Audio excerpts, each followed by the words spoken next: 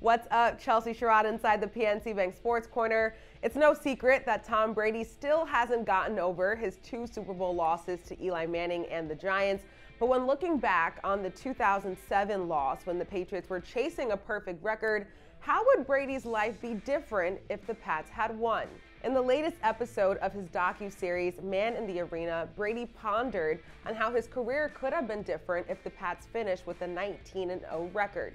He said, quote, if you're looking at a silver lining, maybe the desire to, you know, reach that point, you know, maybe I would have been fulfilled. Not to stop playing at that time, but I don't know. Maybe I'd play another seven or eight years and maybe I'm fulfilled. Maybe not. And the rest is history. PNC Bank helping to make banking easier.